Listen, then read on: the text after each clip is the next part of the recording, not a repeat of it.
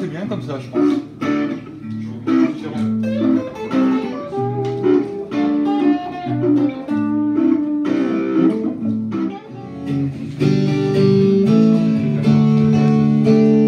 Ah, sachant que euh, avec trois accords là, tu peux déjà euh,